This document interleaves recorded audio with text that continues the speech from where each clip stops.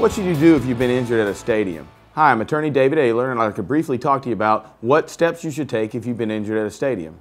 Let's say you're out at a concert or a sporting event and you're injured, whether it be related to some sort of faulty equipment or you're actually assaulted. What steps really should you take? First of all, you of course should seek medical treatment. After seeking medical treatment, the next thing you want to make sure happens is that there's a report taken. This report will be key when trying to recover any compensation for your injuries.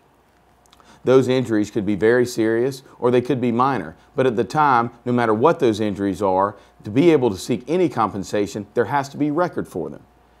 Who's responsible for those injuries could be a number of different sources. It could be the stadium or coliseum itself. It could be the security at the stadium, or it could be the manufacturer of the actual stadium equipment, or it could be another individual that's a patron at the concert or the event.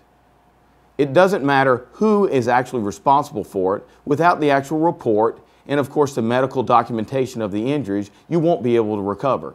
So it's very important to make sure you have these records so that your attorney can help you through this process. For more questions related to injuries at a stadium or coliseum, you can always contact me at my office at 843 577 5530 or on the web at davidaylor.com.